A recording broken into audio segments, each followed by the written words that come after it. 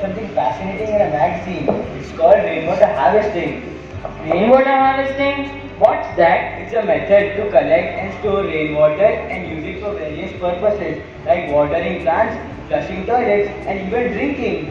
Uh, rainwater is collected from roof, rooftops and other surfaces and directed into storage tanks and underground reservoirs. Look up daily, they've installed rainwater harvesting systems here too. That's amazing. I never knew a school did this. Yeah, it's fantastic. It helps the environment and also saves water.